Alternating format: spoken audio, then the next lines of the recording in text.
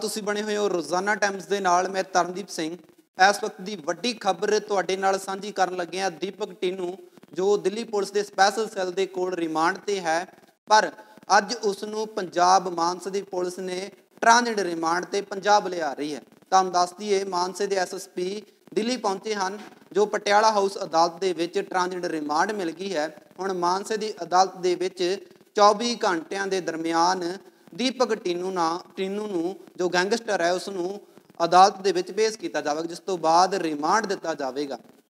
ਹਾਲਾਂਕਿ ਜਦੋਂ ਪਹਿਲਾਂ ਪੰਜਾਬ ਪੁਲਿਸ ਦਿੱਲੀ ਪਹੁੰਚੀ ਸੀ, ਤਾਂ ਪਟਿਆਲੇ ਹਾਊਸ ਨੇ ਦਿੱਲੀ ਦੀ ਪੁਲਿਸ ਨੂੰ ਤਿੰਨ ਦਿਨ ਦੀ ਰਿਮਾਂਡ ਦੇ ਦਿੱਤੀ ਸੀ ਤੇ ਪੰਜਾਬ ਪੁਲਿਸ ਖਾਲੀ ਹੱਥ ਪਰਤ ਕੇ ਪੰਜਾਬ ਆਈ ਸੀ। ਪਰ ਉੱਥੇ ਹੀ ਜਦੋਂ ਅੱਜ ਪਹੁੰਚੇ ਨੇ, ਤਾਂ ਹੁਣ ਟ੍ਰਾਂਜ਼ਿਟ ਰਿਮਾਂਡ ਦੇ ਦਿੱਤਾ ਹੈ। ਪਰ ਉੱਥੇ ਹੀ ਇੱਕ ਗੱਲ ਤੁਹਾਡੇ ਨਾਲ ਸਾਂਝੀ ਕਰਨ ਲੱਗਿਆ, ਜੋ ਸੀਏ ਸਟਾਫ ਦਾ ਪ੍ਰਿਤਪਾਲ ਹੈ ਉਸ ਦੀ ਜਿਹੜੀ ਗ੍ਰਿਫਤ ਦੇ ਵਿੱਚ ਸੀ, ਦੀਪਕ ਟਿੰਨੂ ਉਸ ਨੂੰ ਅਦਾਲਤ ਦੇ ਵਿੱਚ ਪੇਸ਼ ਕੀਤਾ ਜਾ ਰਿਹਾ ਸੀ ਮਾਨਸੇ ਦੇ ਵਿੱਚ। ਉਸੇ ਦਰਮਿਆਨ ਦੀਪਕ ਟਿੰਨੂ ਫਰਾਰ ਹੋ ਜਾਂਦਾ ਹੈ, ਜਿਸ ਤੋਂ ਬਾਅਦ ਸੀਏ ਸਟਾਫ ਦੀ ਪੁੱਛਗਿੱਛ ਕੀਤੀ ਜਾ ਰਹੀ ਹੈ ਇੰਚਾਰਜ ਦੀ, ਜਿਸ ਦਰਮਿਆਨ ਇਹ ਸਾਹਮਣੇ ਆਇਆ ਕਿ ਉਸ ਦੀ ਗਰਲਫ੍ਰੈਂਡ ਔਰ ਸੀਏ ਸਟਾਫ ਦਾ ਜਿਹੜਾ ਪ੍ਰਿਤਪਾਲ ਉਸ ਨੂੰ ਆਯਾਸੀ ਕਰਵਾਈ ਗਈ ਉਸ ਦੀਆਂ ਤਸਵੀਰਾਂ ਔਰ ਵੀਡੀਓ ਵੀ ਸੋਸ਼ਲ ਮੀਡੀਆ ਤੇ ਲਗਾਤਾਰ ਵਾਇਰਲ ਹੋ ਰਹੀਆਂ ਚੰਡੀਗੜ੍ਹ ਦੇ ਨਾਈਟ ਕਲੱਬ ਦੇ ਵਿੱਚ ਆਯਾਸੀ ਕਰਦਾ ਪ੍ਰਿਤਪਾਲ। ਸਾਹਮਣੇ ਆ ਰਿਹਾ ਇੱਥੇ ਇਹ ਵੀ ਹੈ ਕਿ ਦੀਪਕ ਟਿੰਨੂ ਦੇ ਪੈਸਿਆਂ ਤੇ ਐਸੀ ਕਰਵਾਈ ਗਈ ਔਰ ਦੀਪਕ ਟਿੰਨੂ ਨੇ ਪੈਸੇ ਦੇ ਕੇ ਉਸ ਨੂੰ ਫਰਾਰ ਕੀਤਾ ਸੀ। ਕਾਫੀ ਫਰੋਤੀ ਦਿੱਤੀ, ਜਿਸ ਤੋਂ ਬਾਅਦ ਸੀਏ ਸਟਾਫ ਦਾ ਇੰਚਾਰਜ ਪ੍ਰਿਤਪਾਲ ਦੀ ਪੁੱਛਗਿੱਛ ਕੀਤੀ ਜਾ ਰਹੀ ਹੈ ਔਰ ਉਸ ਦੀ ਗਰਲਫ੍ਰੈਂਡ ਦੀ ਪੁੱਛਗਿੱਛ ਕੀਤੀ ਜਾ ਰਹੀ ਪਰ ਉੱਥੇ ਇਹ ਵੀ ਅੰਦਾਜ਼ੇ ਸੀ ਕਿ ਜੋ ਦੀਪਕ ਟਿੰਨੂ ਫਰਾਰ ਹੋ ਗਿਆ ਸੀ ਪ੍ਰਦੇਸ਼ 'ਚ, ਪਰ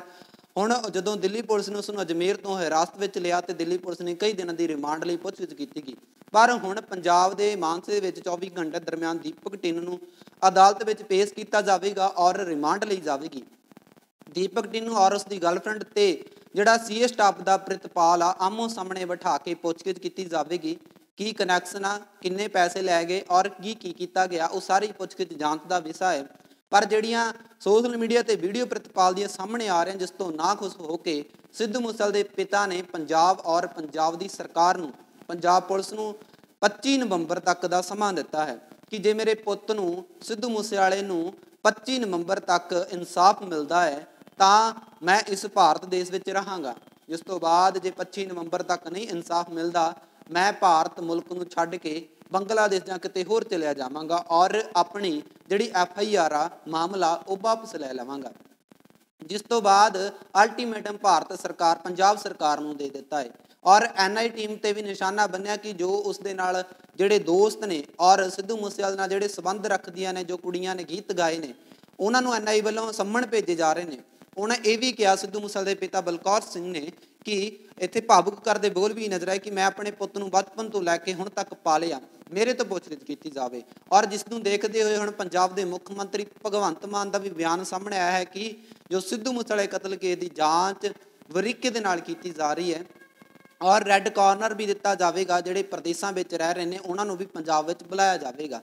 ਪਰ ਹੁਣ ਲਗਾਤਾਰ ਇਸ ਕੇਸ ਨੂੰ ਉਲਝਦਾ ਵੀ ਨਜ਼ਰ ਆ ਰਿਹਾ ਹੈ ਔਰ ਕਿਤੇ ਨਾ ਕਿਤੇ ਜਿਹੜੇ ਗੈਂਗਸਟਰ ਸੀ, ਸਾਰਪ ਸ਼ੂਟਰ ਸੀ, ਉਹਨਾਂ ਨੂੰ ਪੰਜਾਬ ਪੁਲਿਸ ਨੇ ਹਿਰਾਸਤ ਵਿੱਚ ਲੈ ਰਿਹਾ ਹੈ ਪਰ ਕਿਤੇ ਨਾ ਕਿਤੇ ਪੰਜਾਬ ਪੁਲਿਸ ਦੀ ਨਾਕਾਮੀ ਵੀ ਸਾਹਮਣੇ ਆ ਰਹੀ, ਜਿਸ ਤੋਂ ਬਾਅਦ ਲਗਾਤਾਰ ਸਿੱਧੂ ਮੂਸੇਵਾਲੇ ਦਾ ਪਰਿਵਾਰ ਭਾਵੁਕ ਹੁੰਦਾ ਨਜ਼ਰ ਆ ਜਿਸ ਤੋਂ ਬਾਅਦ ਅੱਜ ਪੰ- ਅੱਜ ਪੰਜਾਬ ਦੇ ਮੁੱਖ ਮੰਤਰੀ ਭਗਵੰਤ ਮਾਨ ਦਾ ਬਿਆਨ ਆ ਚੁੱਕਿਆ ਹੈ ਔਰ ਉਹਨਾਂ ਨੇ ਕਿਹਾ ਕਿ ਬਰੀਕੀ ਦੇ ਨਾਲ ਇਸ ਕੇਸ ਦੀ ਜਾਂਚ ਹੋ ਰਹੀ ਹੈ ਔਰ ਸਾਨੂੰ ਵੀ ਉਹਨਾਂ ਦੁੱਖ ਹੈ ਕਿ ਸਿੱਧੂ ਦਾ ਜੋ ਜਾਣਾ ਉਸਦੇ ਮਾਪਿਆਂ ਜਿੰਨਾ ਹੀ ਸਾਨੂੰ ਦੁੱਖ ਹੈ, ਜਿਸ ਤੋਂ ਬਾਅਦ ਹੁਣ ਜੋ ਪੰਜਾਬ ਦੀ ਪੁਲਿਸ ਹੈ, ਮਾਨਸਾ ਦੇ ਐਸਐਸਪੀ ਦਿੱਲੀ ਪਹੁੰਚੇ ਨੇ ਔਰ ਦੀਪਕ ਟੀਨੂ ਨੂੰ ਪੰਜਾਬ ਲੈ ਕੇ ਆ ਰਹੇ ਨੇ, ਆ ਕੇ ਜਦੋਂ ਮਾਨਸੇ ਦੀ ਅਦਾਲਤ ਦੇ ਵਿੱਚ ਪੇਸ਼ ਕੀਤਾ ਜਾਵੇਗਾ 24 ਘੰਟਿਆਂ ਦਰਮਿਆਨ ਔਰ ਇਸੇ ਦਰਮਿਆਨ ਦੀਪਕ ਟਿੰਨੂ ਦੀ ਗਰਲਫ੍ਰੈਂਡ ਔਰ ਪ੍ਰਿਤਪਾਲ ਜੋ ਸੀਏ ਸਟਾਫ ਦਾ ਇੰਚਾਰਜ ਆ ਉਹਨਾਂ ਨੂੰ ਆਮੋ ਸਾਹਮਣੇ ਬਿਠਾ ਕੇ ਜਾਂਚ ਕੀਤੀ ਜਾਵੇਗੀ। ਫਿਲਹਾਲ ਇਹ ਜਾਂਚ ਦਾ ਵਿਸ਼ਾ ਹੈ। ਕੀ ਖੁਲਾਸੇ ਹੋਣਗੇ? ਇਹ ਫਿਲਹਾਲ ਜਾਂਚ